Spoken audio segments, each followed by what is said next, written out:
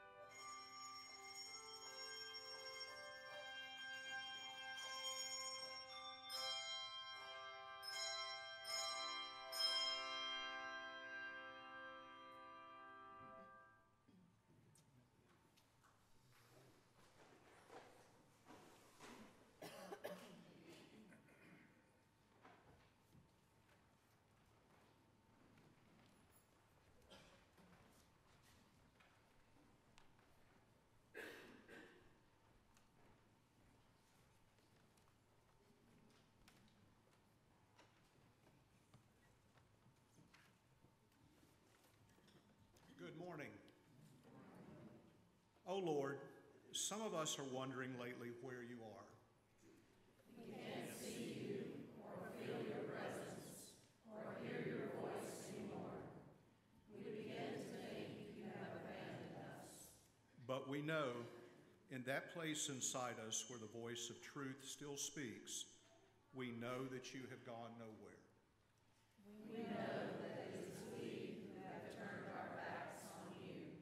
Help us to see that even in the darkness, you are still working your purposes. Strengthen us to draw near to you as you draw near to us. Amen.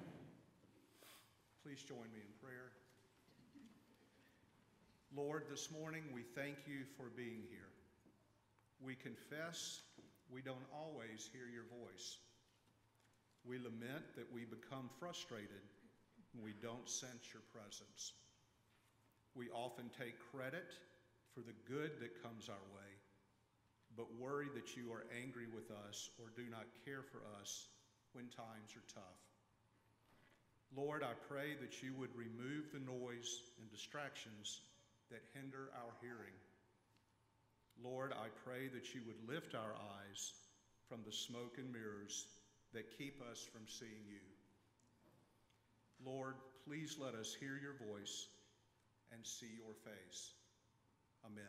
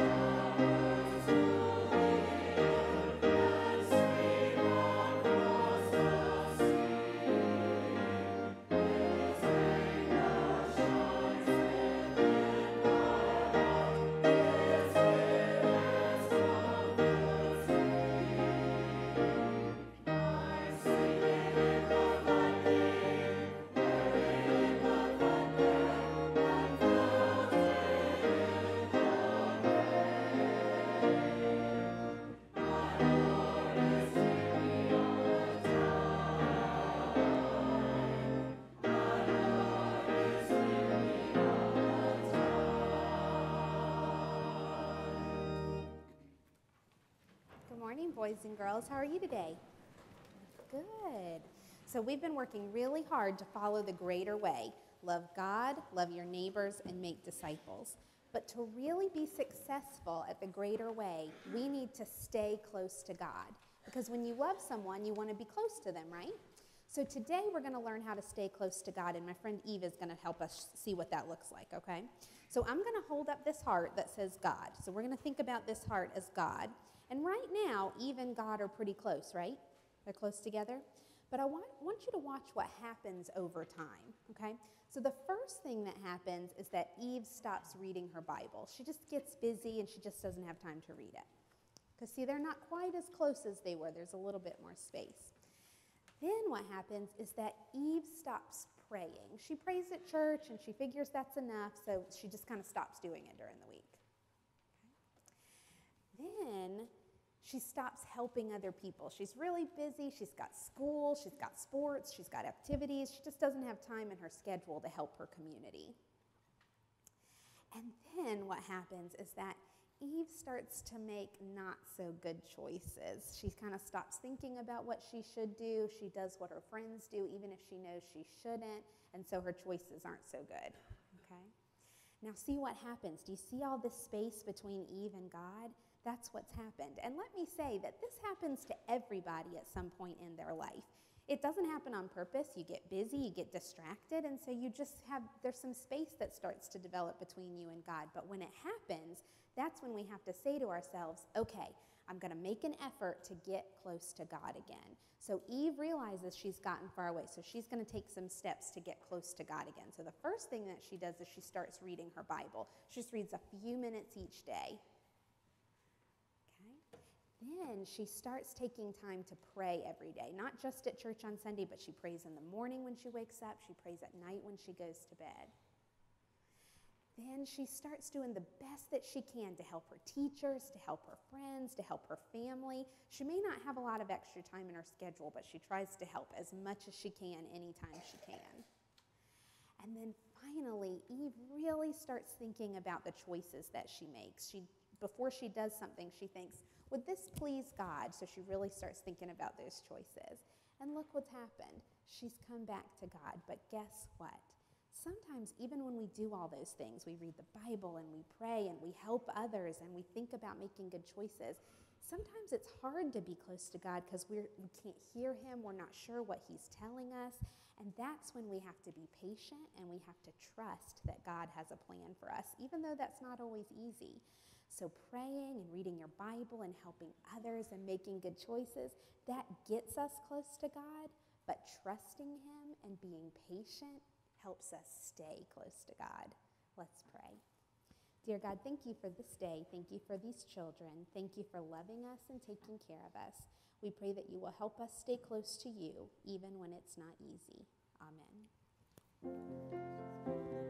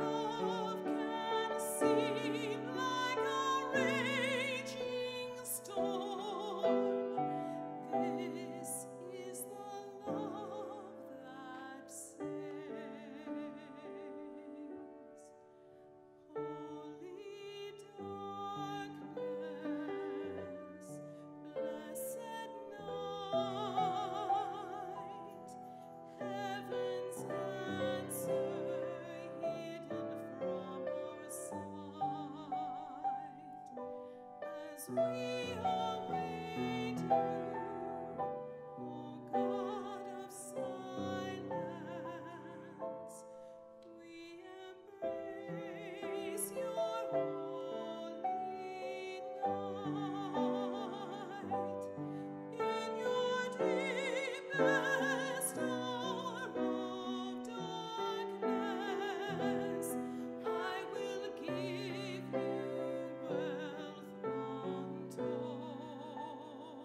You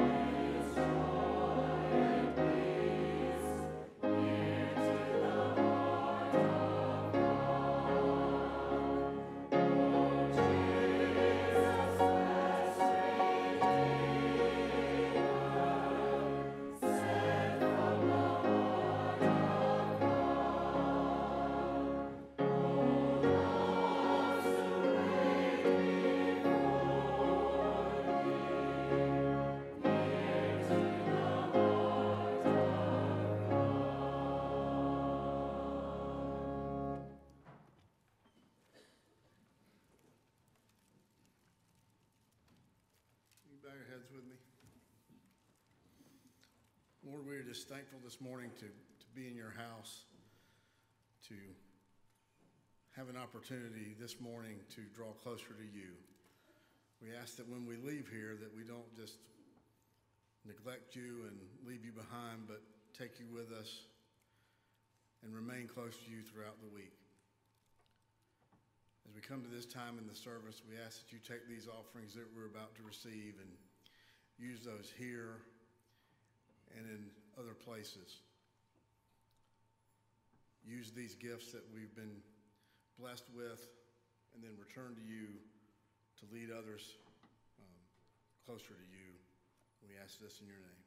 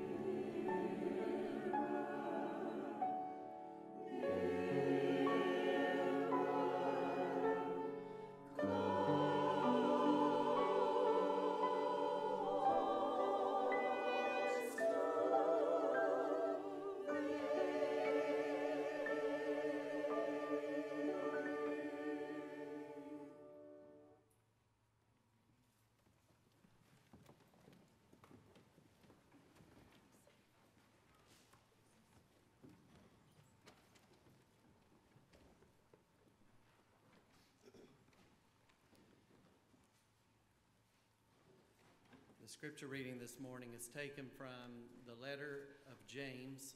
In the interest of time, we're only going to read verses 7 through 8a. As I read these words of scripture, I encourage you to listen for God's word for you. This, these are the words of James, and this is the word of God. Submit yourselves, therefore, to God. Resist the devil, and he will flee from you. Draw near to God, and he will draw near to you.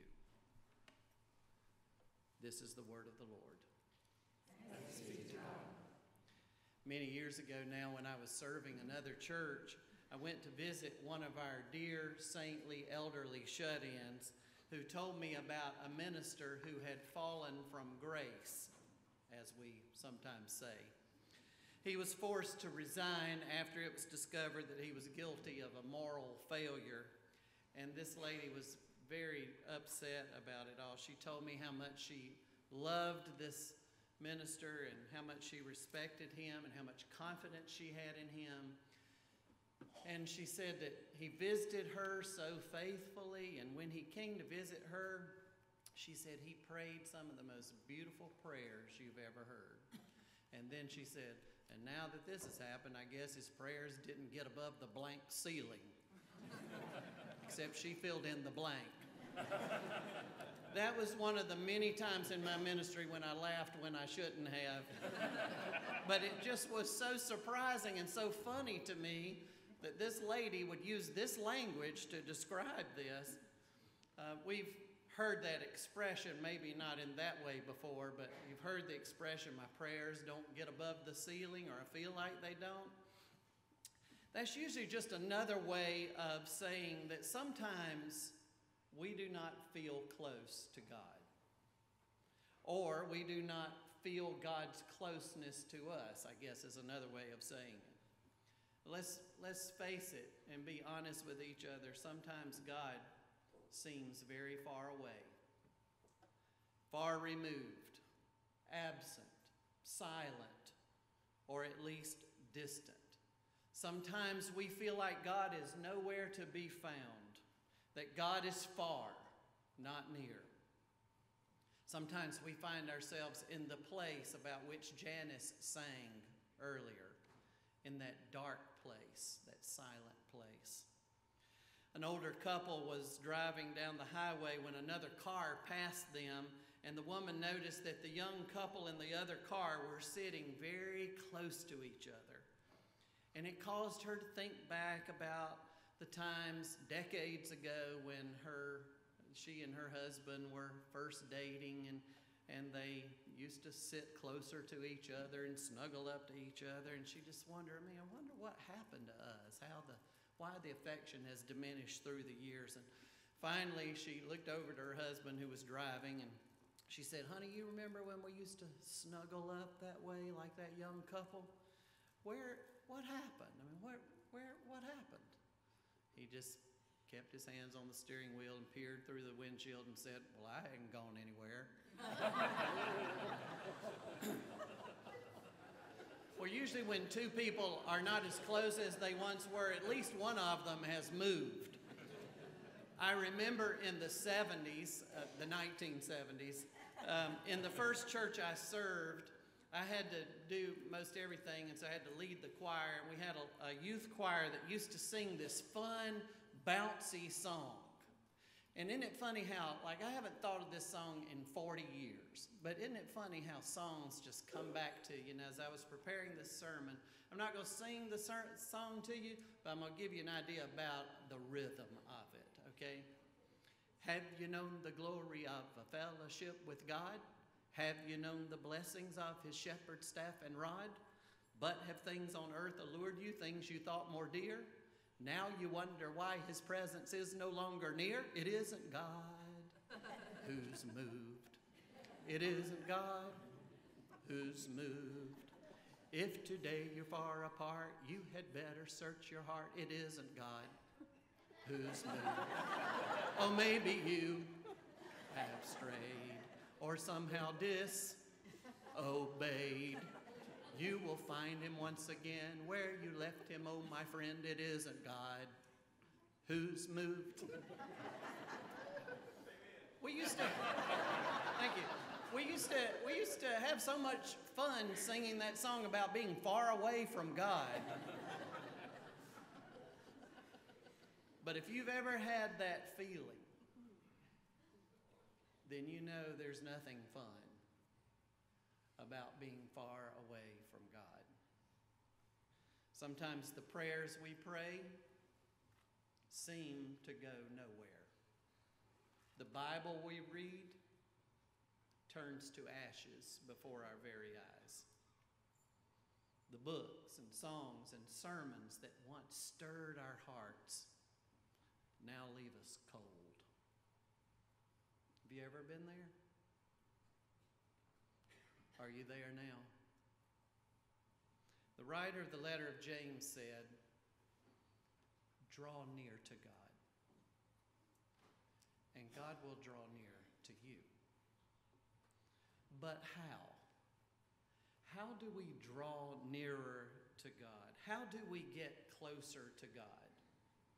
Well, we have come to expect as we've moved through the letter of James that James gives us some very practical instruction about how to do this. In the verses that follow the verses we just read, he says, Cleanse your hands, purify your hearts, lament and mourn and weep, humble yourselves. And we could spend a lot of time on any or all of those instructions, but this morning we're going to focus only on the two instructions he gives us in verse 7 because I believe those two instructions summarize all the other instructions. And so if you don't get everything, maybe you can get these two things submit and resist. First, he says, submit to God. One of the primary ways we express our love for God is to submit to God's authority, to obey God's instructions, to trust in God's providence and God's purposes, even and especially when there is no immediate apparent result in doing so. Especially when there is no immediate satisfaction or gratification. Submit. We submit to God not primarily because we want to get something out of God, but we submit to God primarily because God is God and we are not. And we submit to God's authority not just because God is God, but because we trust and believe that God is love and God is purposeful, even when God seems to be absent. And even when our prayers do not seem to get above the proverbial ceiling, we submit to God, trusting that even when God does less than we hope, God always does more than we know. I used to submit to my parents' authority because I was afraid not to. But the longer I lived with them, and the more I knew them, and the more I trusted in their love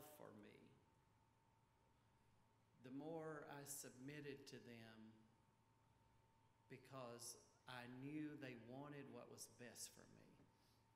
Not out of a sense of duty anymore, not out of obligation or fear, but out of trust in their goodness. We express our love for God in the same way that we express our love for our parents. For the same reason, we trust that God always wants what is best for us, that God always wills what is for our good. So we submit to God. And even when there is no immediate gratification in doing so, we wait. As Janice sang, we wait in the darkness sometimes. We wait in the distance. We wait in the silence. But waiting is not the same as doing nothing. Sometimes we think of waiting as a very passive activity, but waiting is not a passive activity. While we wait, we keep obeying. We keep submitting. We keep trusting, actively working, trusting that God is working for our good, even when God seems to be absent or silent or distant or slow. As Lamar and Harriet played in the, in the offertory, we learn to rest in the Lord. Active waiting, active waiting is the highest form of submission.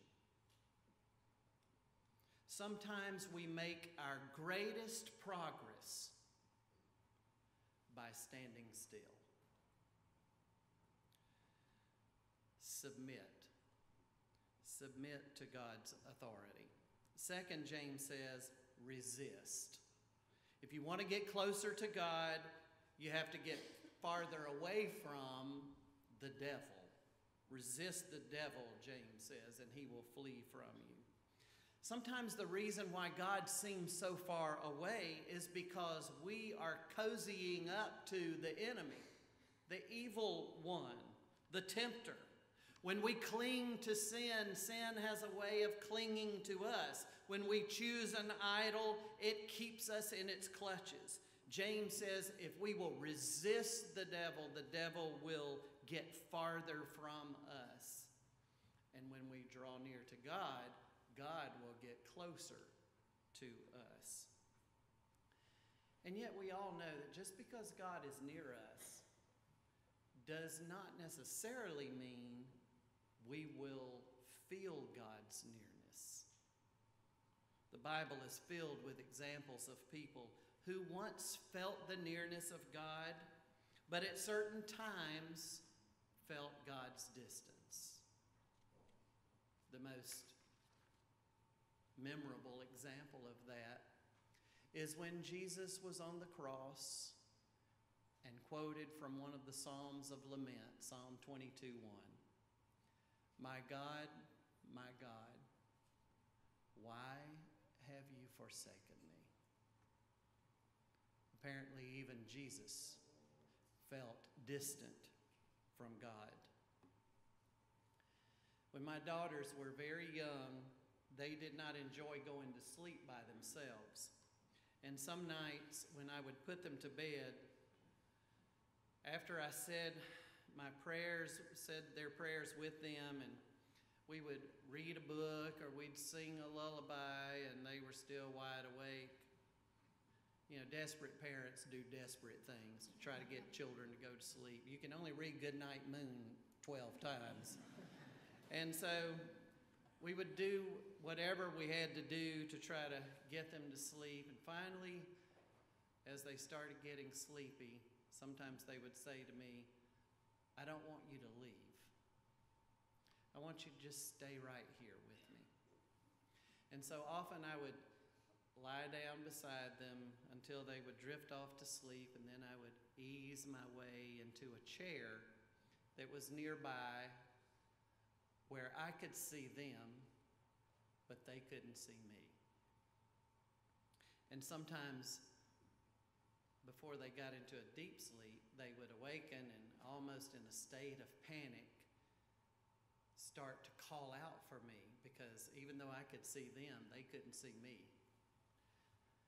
And before they could even say, Daddy, I was there. As they grew up, there's been an ebb and flow to our closeness and distance. But one reality has remained the same and will never change. I am always closer to them than they will ever know. That's the best way I can understand how this works with God. As it turns out, your prayers don't have to get above the ceiling to reach God. Dallas Willard wrote, if we truly understand how radically present God is in our world, reaching the ceiling is more than high enough. God is already closer to you than you may realize. And when you draw nearer to God, you will discover that even though God seems farther away than you can see, God is always closer than you know. And no matter how close you are to God, if you will draw nearer, still nearer to God, will draw nearer, still nearer to you. Do you believe that?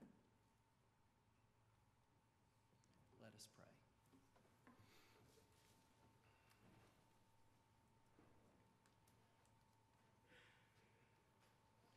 Lord, we thank you for reminders that even when you seem farther away than we can see, you are already and always closer than we know. In these moments, we draw nearer to you, claiming your promise that as we do, you will draw nearer to us. That is our prayer. In Jesus' name, amen. This morning, that is the invitation for you to draw nearer to God. Whatever that means to you in your own situation, your own relationship with God. For some of you, it may mean drawing nearer to God by professing your faith in Jesus Christ, trusting Him to be your Savior, following Him as your Lord. For some of us, it may mean renewing our devotion to Christ, drawing near to Him in ways that will assure that God will draw nearer to us. For some of you, it may be that the next step in your journey of faith and drawing nearer to God is to join this church. We would delight in welcoming you into our fellowship. Or it may be that you are led to respond in some other way, maybe to come forward and kneel and pray, or to respond in some other way as God's Spirit leads you. I will be here at the front to receive you as we stand to sing.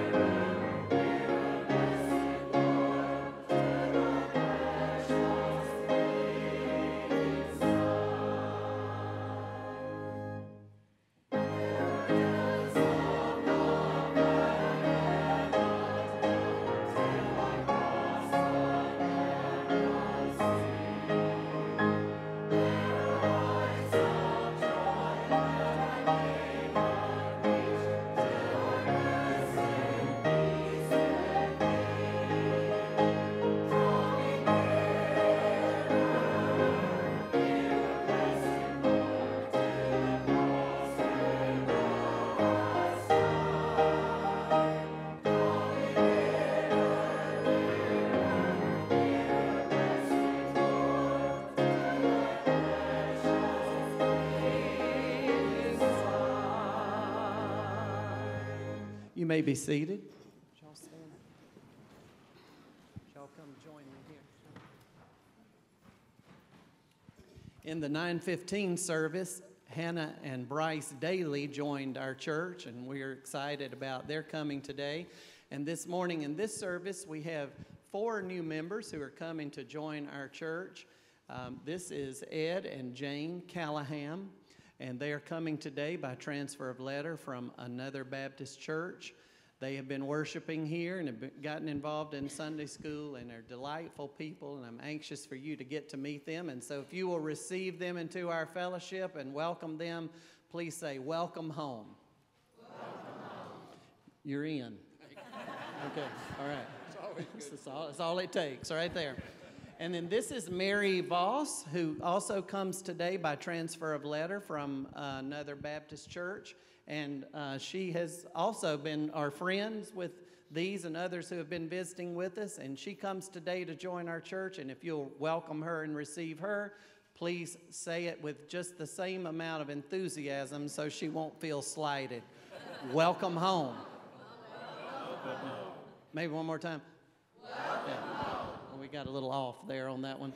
And then this is this is Eddie West, who comes as a Christian from another denomination and previous baptism, and he comes today also to join our church. And I know you're going to want to welcome him as well. So please express your welcome to him by saying, "Welcome home." Welcome home. We are so thankful that God has led you to us and we want to do everything we can to make you feel welcome. So, following the service, I hope you'll come by and introduce yourselves to them today and in the days and weeks ahead. Help them find their places of service and then uh, remind them of your names as well as we get to know each other. Would you please stand?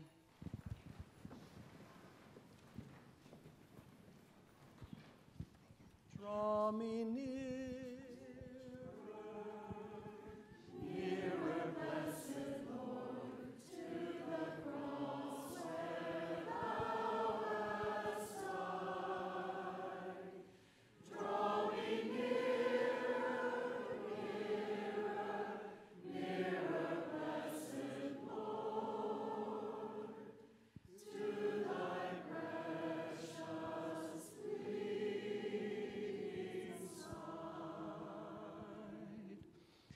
Gracious God, this is our prayer as we leave this place that you would keep us close to you. How we thank you today for Ed and Jane, for Mary and Eddie, for Hannah and Bryce who have joined our church today.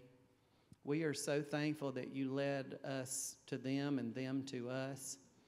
And we pray that you will keep them close to us and keep us close to them and keep us all close to you. And now may the grace of the Lord Jesus Christ, the love of God, and the fellowship and communion of the Holy Spirit be with you and abide with you and keep you this day and forevermore.